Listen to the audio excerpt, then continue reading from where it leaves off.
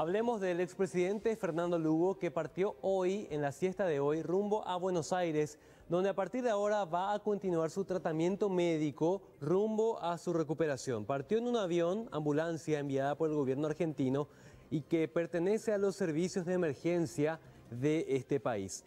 El doctor Jorge Querey realizó un reporte de su estado médico y su traslado y por lo que se sabe hasta el momento, Fernando Lugo se encuentra estable, mostró reacciones sumamente positivas en los últimos días.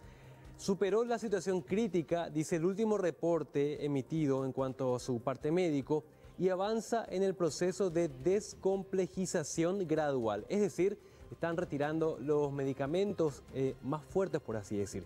Todavía no habla debido a la traquetomía que le fue practicada semanas atrás, pero se comunica con gestos.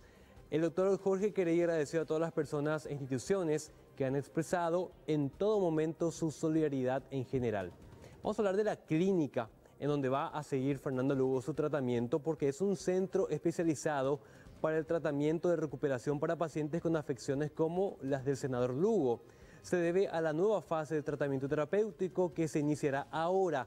Una vez ya instalado en la clínica Freni, se realizarán informes sobre la hoja de ruta y su proceso de tratamiento en cuanto a lo que es su, recuperación. Y mucha gente se pregunta qué pasa con la candidatura. Dicen los principales referentes que antes de haber sufrido este accidente cerebrovascular, Fernando Lugo había firmado el acta correspondiente en cuanto a la presentación de su candidatura dentro del plazo establecido por la justicia electoral.